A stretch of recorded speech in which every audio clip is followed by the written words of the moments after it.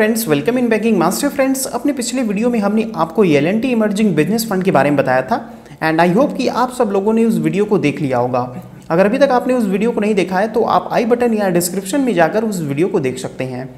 Friends हम लगातार ही कई इंपॉर्टेंट म्यूचुअल फंड्स के रिव्यू कर रहे हैं, जो जो आप हमसे पूछते हैं। आप हमारे चैनल पर जाकर उन सभी म्यूचुअल फंड के रिव्यू को देख सकते हैं। आज के अपने वीडियो में फ्रेंड्स हम आपको एस डी एफ़ से मिड कैप अपॉर्चुनिटीज़ फंड के बारे में सब कुछ डिटेल में बताएँगे। बस आप इस वीडियो को पूरा एंड तक देखते रहें और हमारे इस चैनल को जल्दी से सब्सक्राइब करके बेल आइकन दबा लें। इसमें सबसे पहले हम देखेंगे इसके फंड इन्फो को, फिर देखेंगे पोर्टफोलियो को और फिर देखेंगे परफॉर्मेंस को और लास्ट में हम देखेंगे कि इस रिव्यू से क्या कंक्लूजन निकल कर आया है। चलिए अब इसके फंड इन्फो को देख लेते हैं। तो इसका फंड हाउस है H D F C mutual fund. Scheme type है इसका ओपन एंडेड। ओपन एंडेड का मतलब कि फ्रेंड्स, आप जब चाहें तब अपना पैसा इस फंड से निकाल सकते हैं। इन्वेस्टमेंट ऑब्जेक्टिव की बात करें तो इन्वेस्टमेंट ऑब्जेक्टिव है इसका long term capital appreciation provide करना by investing in mid cap companies class है इसका इक्विटी कैटेगरी है इसका मिड कैप इसके डायरेक्ट प्लान को लॉन्च किया गया था फ़र्स्ट जनवरी 2013 को और इसके रेगुलर प्लान को लॉन्च किया गया था 25 जून 2007 में. अब फ्रेंड्स यहाँ पर हम देखें तो यह फंड 12 साल से भी अधिक पुराना है। मतलब कि इसने मार्केट के सारे अप्स एंड डाउन्स देखे होंगे इन 12 साल में, जो कि फ्रेंड्स अच्छी बात है इस फंड के लिए। बेंचमार्क है इसका Nifty mid cap hundred T R I N है इसके ग्रोथ प्लान का rupees fifty two point one seven four और इसके डिविडेंड प्लान का एन है rupees thirty point eight four one A की बात करें तो फ्रेंड्स इसका A M twenty thousand eight hundred ninety three crore है। और फ्रेंड्स इसका ए एम ट्वेंटी थाउज़ेंड से अधिक है, जो कि अच्छा नहीं माना जाएगा मिड कैप कैटेगरी में generally friends mid cap category में हाई ए अच्छा नहीं माना जाता है। ए के बारे में और डिटेल में जानने के लिए आप आई कार्ड पर क्लिक करके एक वीडियो हमने बनाया है, उसको देख सकते हैं। उसमें हमने सब कुछ डिटेल में बताया है ईवीएम के बारे में। इस फंड को दो फंड मैनेजर मिलकर मैनेज करते हैं। सबसे पहले हैं अमर कल कुंद्रिकर, जो कि जनवरी 2019 से इस फंड को मैनेज कर रहे हैं, और दूसरे हैं चिराग सीतलवाद जो कि फ्रेंड्स जनवरी 2013 से इस फंड को मैनेज कर रहे हैं। अगर बात करें अमर कलकुंद्रिकर की एजुकेशन की तो इन्होंने बी कॉम सी ए और एम बी ए किया हुआ है, कोलंबिया बिज़नेस स्कूल से। इनके एक्सपीरियंस की बात करें तो इनके पास 16 ईयर्स का एक्सपीरियंस है, जिसमें से के फ्रेंड्स 13 ईयर्स का एक्सपीरियंस इक्विटी रिसर्च और पोर्टफोलियो मैनेजमेंट में है। ये फ्रेंड्स एच के नियर अबाउट 22 और 23 फंड्स को मैनेज करते हैं, जैसे कि H focused thirty fund H gilt fund H growth opportunities fund H hybrid debt fund और भी फ्रेंड्स एच की ये कई फंड्स को मैनेज करते हैं। यहाँ पर फ्रेंड्स हम देख सकते हैं कि अमर कल कुंद्रिकर बहुत अधिक फंड्स को मैनेज कर रहे हैं, जो कि फ्रेंड्स अच्छा नहीं माना जाएगा, क्योंकि ये इस फंड पर अधिक अपना जो है ध्यान नहीं दे पाएँगे, क्योंकि ये बहुत सारे फंड्स को मैनेज कर रहे हैं, जो कि फ्रेंड्स इस फंड के लिए अच्छा भी नहीं माना जाएगा। लेकिन फिर भी फ्रेंड्स अमर कल कुंद्रिकर एक अच्छे फंड मैनेजर हैं। अगर बात करें चिराग सेतलवाद की एजुकेशन की तो इन्होंने बीएससी और एमबीए किया हुआ है यूनिवर्सिटी ऑफ़ नॉर्थ कैरोलिना से। इनके एक्सपीरियंस की बात करें तो H D F C M C को ज्वाइन करने से पहले ये new Vernon advisory services limited H D F C M C और I N G Baring C N V के साथ ये काम कर चुके हैं। ये भी फ्रेंड्स एट या नाइन फंड्स को एच डी एफ़ सी के एट या नाइन फंड्स को मैनेज करते हैं, जैसे कि H D F C children gift fund H D F C multi asset fund H D F C mid cap opportunities fund H D F C small cap fund और भी friends ये कुछ funds को manage करते हैं। यहाँ पर friends हम कह सकते हैं कि चिराग से तलवाद एक बेहतरीन फंड मैनेजर माने जाते हैं, जो कि फ्रेंड्स अगेन एक अच्छी बात है इस फंड के लिए।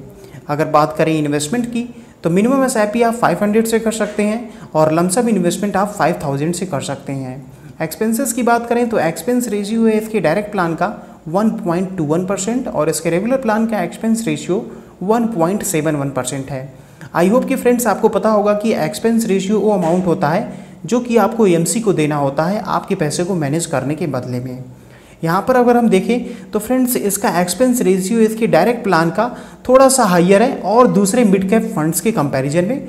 लेकिन फ्रेंड्स फिर भी इसके रेगुलर प्लान का एक्सपेंस रेशियो ठीक है। हम आपको सजेस्ट करेंगे कि आप हमेशा डायरेक्ट प्लान ही लें। इसमें आपको कम एक्सपेंस रेशियो देना पड़ता है एम को। एग्जिट लोड की बात करें तो एग्जिट लोड वन परसेंट है। अगर आप एक साल के अंदर अपना पैसा निकालते हैं तो। चलिए फ्रेंड्स अब इस फंड के पोर्टफोलियो को देख लेते हैं। तो इसमें सबसे पहले हम देखेंगे एसेट एलोकेशन को।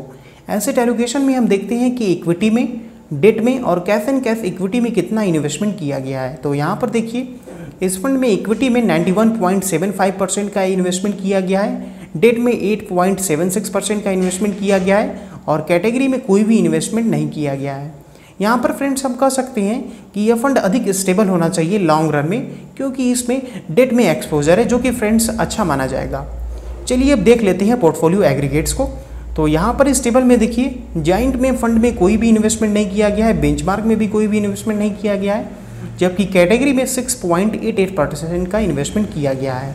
लार्ज कैप की बात करें तो लार्ज कैप में फंड में सबसे कम इन्वेस्टमेंट किया गया है, केवल 2.94 परसेंट का, जबकि बेंचमार्क में 7.12 परसेंट का इन्वेस्टमेंट किया गया है और कैटेगरी में 6.61 परसेंट का इन्वेस्टमेंट किया गया है। मिड कैप की बात करें तो मिड कैप में फ्रेंड्स फंड में और कैटेगरी में लगभग लगभग बराबर ही इन्वेस्टमेंट किया गया है। फंड में 79.75 परसेंट का इन्वेस्टमेंट किया गया है और बेंचमार्क में 66.51 परसेंट का इन्वेस्टमेंट किया गया है मिड कैप में। वहीं मिड कैप में कैटेगरी में 79.42 परसेंट का इन्वेस्टमेंट किया गया है। स्मॉल कैप की बात करें तो स्मॉल कैप में फंड में 17.31 परसेंट का इन्वेस्टमेंट किया गया है। बेंचमार्क में 25.94 परसेंट का और कैटेगरी में 12.51 परसेंट का इन्वेस्टमेंट किया गया है। तो फ्रेंड्स यहाँ पर हम देख सकते हैं कि फंड में लार्ज कैप में बहुत कम एक्सपोजर है as compare to the benchmark in category mid cap की बात करें तो मिड कैप में फंड में और कैटेगरी में लगभग लगभग बराबर ही एक्सपोजर है। लेकिन फ्रेंड्स मिड कैप में फंड में अधिक एक्सपोजर है बेंचमार्क के कंपैरिजन में। स्मॉल कैप की बात करें तो स्मॉल कैप में फंड में बेंचमार्क से तो कम एक्सपोजर है, लेकिन कैटेगरी से अधिक है।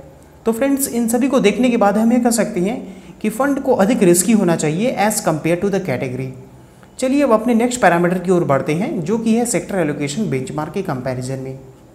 तो यहाँ पर इस ग्राफ में देखिए फंड में financial engineering health care cons durable automobile technology and metals ये कुछ ऐसे सेक्टर्स हैं जिसमें कि फंड में अधिक इन्वेस्टमेंट किया गया है as compare to the benchmark वहीं बेंचमार्क की बात करें तो बेंचमार्क में chemicals services FMCG construction and textile ये कुछ ऐसे सेक्टर्स हैं जिसमें कि बेंचमार्क में अधिक इन्वेस्टमेंट किया गया है फंड के कंपैरिजन में। अब फ्रेंड्स यहाँ पर अगर आप इस बार ग्राफ को ध्यान से देखेंगे तो पाएँगे कि फंड का डाइवर्सिफिकेशन बेंचमार्क के कंपैरिजन में थोड़ा सा ज़्यादा अच्छा है, जो कि फ्रेंड्स अच्छी बात है फंड के लिए। चलिए अब अपने नेक्स्ट पैरामीटर को देख लेते हैं, जो कि है टॉप टेन होल्डिंग्स तो यहाँ पर फ्रेंड्स हम देख सकते हैं कि इसमें कुछ नई कंपनीज़ में इन्वेस्टमेंट किया गया है, जैसे कि Aarti industries City Union bank Voltas and Indian hotels यहाँ पर फ्रेंड्स ये देखना इंपॉर्टेंट है कि ये कंपनी फ्यूचर में कैसा परफॉर्म करती है। आप यहाँ पर पी को भी देख सकते हैं, आपको पता होगा कि जिस कंपनी का पी जितना कम होता है वो कंपनी उतना ही अच्छा माना जाता है। एलोकेशन को भी देख सकते हैं कि किस कंपनी में कितना इन्वेस्टमेंट किया गया है। जैसे कि यहाँ पर देख लीजिए, आरती इंडस्ट्रीज़ में 3.74 परसेंट का इन्वेस्टमेंट किया गया है। फ्रेंड्स यहाँ पर आप वीडियो पॉज करके इन सभी डेटा को आराम से देख सकते हैं। अब बढ़ते हैं अपने नेक्स्ट पैरामीटर की ओर, जो कि है कंसनट्रेशन एंड वैल्यूएशन तो इसमें टोटल नंबर ऑफ़ स्टॉक 70 है। टॉप टेन स्टॉक्स का कंट्रीब्यूशन 29.97 परसेंट है और टॉप थ्री सेक्टर्स का कंट्रीब्यूशन 44.37 परसेंट है। इस पोर्टफोलियो का price to earn ratio 18.81 percent है। अब फ्रेंड्स यहाँ पर हम देखें तो इस फंड में बहुत अधिक स्टॉक्स में इन्वेस्टमेंट किया गया है। इसका मतलब कि फ्रेंड्स इस फंड का डाइवर्सिफिकेशन अच्छा होना चाहिए।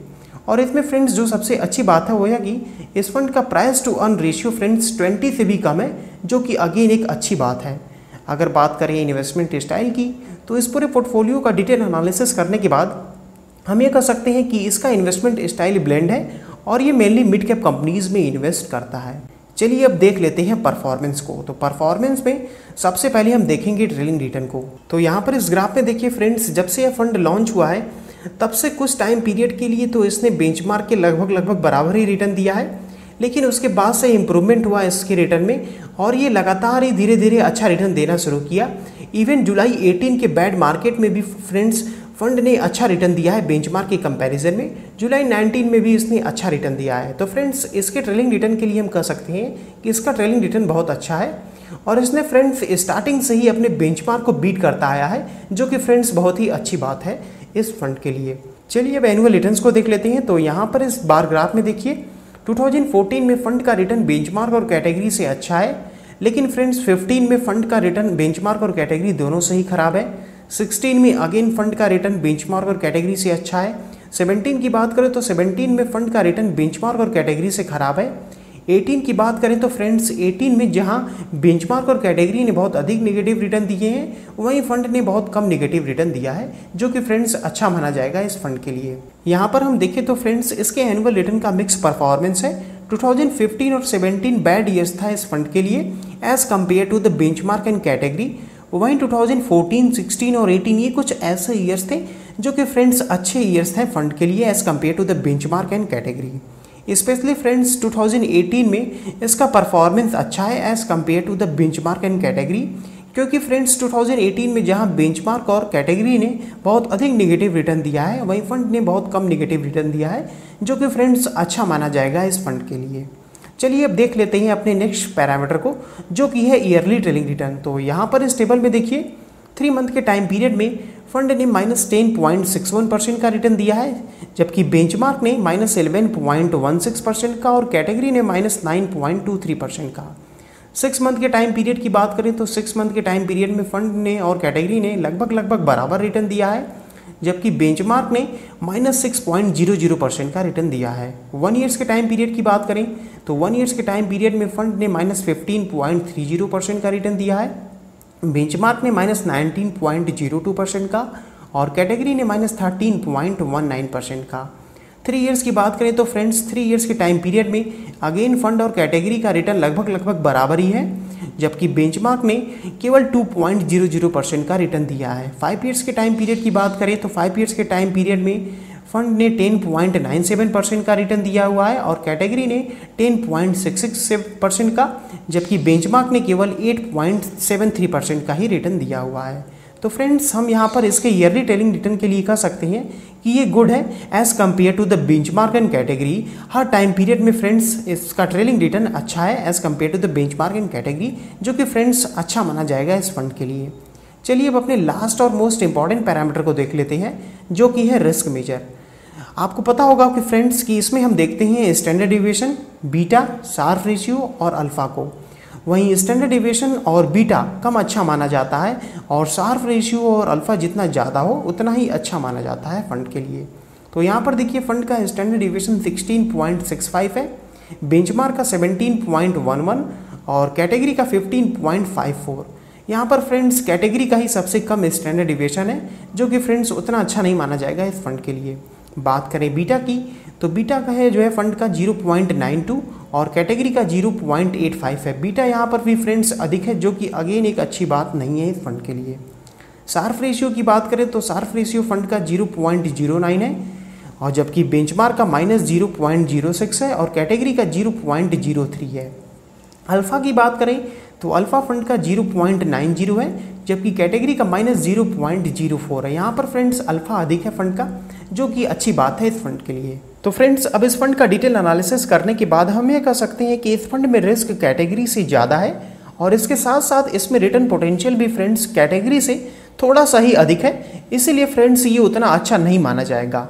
ऐसे में अगर आप इस फंड में इन्वेस्ट कर रहे हैं तो इन्वेस्टमेंट करते रहें, और टाइम टू टाइम ट्रैक करते रहें इस फंड के परफॉर्मेंस को। और नए लोग इस फंड में इन्वेस्ट ना करें। आप कोई और मिड कैप फंड सिलेक्ट कर सकते हैं। आप चाहे तो आ रहे विंडो पर क्लिक करके top five best mid cap fund की वीडियो को देख सकते हैं। तो फ्रेंड्स, आई होप कि आपको हमारा ये वीडियो पसंद आया होगा। पसंद आया हो तो इस वीडियो को लाइक और शेयर ज़रूर करें और हमारे इस चैनल को सब्सक्राइब भी कर लें। अगर अभी भी आपका इस फंड से रिलेटेड कोई सवाल या सुझाव हो तो हमें नीचे कमेंट करना ना भूलें। हम उन सभी कमेंट्स के जवाब देने की पूरी कोशिश करेंगे। आपने हमें अपना कीमती समय दिया, इसके लिए आपका बहुत बहुत धन्यवाद। फिर मिलते हैं ऐसे किसी वीडियो में।